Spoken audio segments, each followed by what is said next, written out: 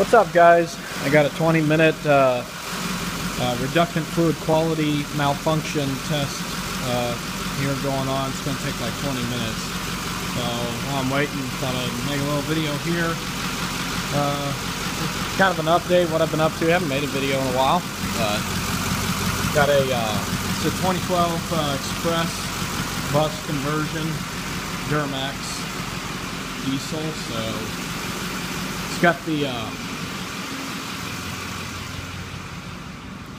you see it's got the good old,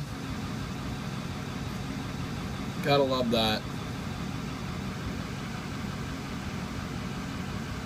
So here's my main question for something like this. What do you do when uh, you have a problem like this out in the middle of nowhere? Like, for example, we've been talking about going to Colorado sometime kind of like in the Gunnison area out in the mountains and that. And it could be an hour or two drive towards uh, the area closest society, if you know what I mean.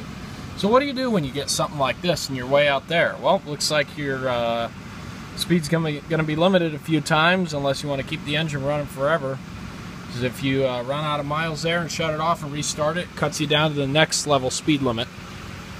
So what happened with this system though is it had the uh, reductant tank, which is underneath the vehicle here.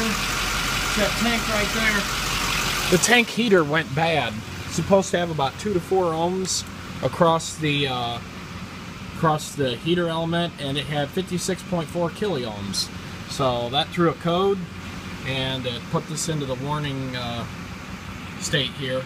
So I replaced the uh, the heater coil the basically the whole they call it a reservoir. It's like a reservoir that sits inside the tank itself and that contains the heater element that has to be replaced. So we I replaced that and uh, now I'm trying to get the warning message to clear. Even though there's no codes it still has to go through a whole uh, reductant fluid quality and performance test which takes about 20 minutes.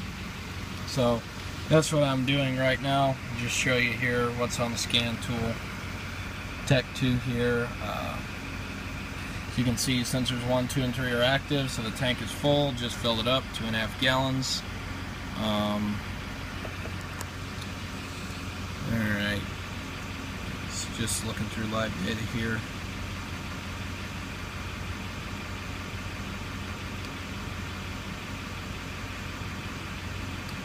I also had to uh, I had to take the grill off here to get to the ambient air temperature sensor because it was about 8 degrees this morning. So I had to take it off and use my little uh, use my little heat gun here to warm that sensor up so this test would even run. I don't know why, but if you go into the IPC data here and look at the data on the IPC because that's what actually sends a voltage to the ambient air temperature sensor. It shows the sensor is working properly, but under engine data, it's still showing, let me find it here, these are just all circuit tests, and the heater one there was the one that had the fault, but it's since passed. As you can see, there's a resistance 2 ohms, that's perfect. So for ambient air temperature here. Okay.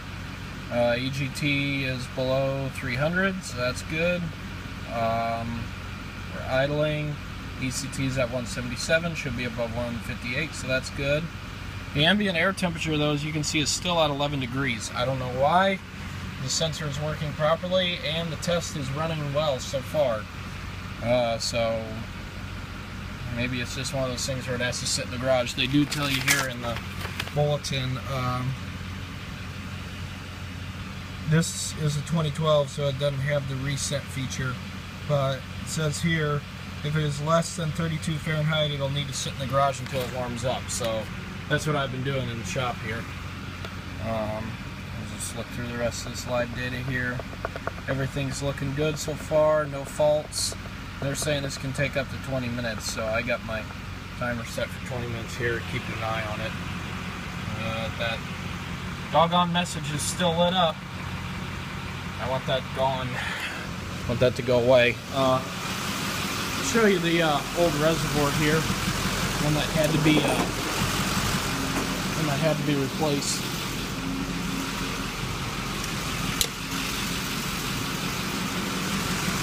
This is the, the old reservoir here, the one that went bad. This is the entire thing that has to be replaced whenever that heater goes bad inside. Uh, take it off here. Kind of hard to do single-handedly.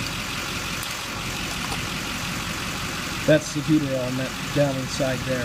That's what went bad. So you gotta get a, gotta get that whole thing. It basically keeps the reductant fluid or the diesel exhaust fluid warm so it doesn't freeze. And other than that, that's it. That other bus over there's still got the training out of it. Waiting to get that put back together. So that's what I'm doing right now. Hoping and praying that this goes through.